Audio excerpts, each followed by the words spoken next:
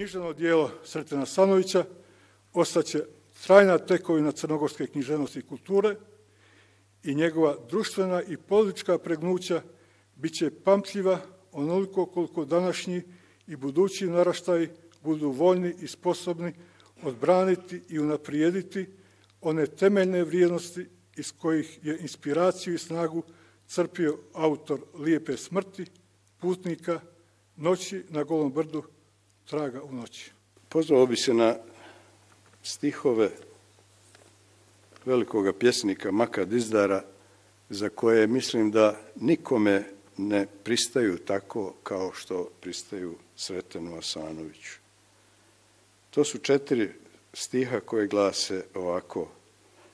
Zemlja je smrtnim sjemenom posijana, ali smrt nije kraj, jer smrti zapravo i nema, i nema kraja.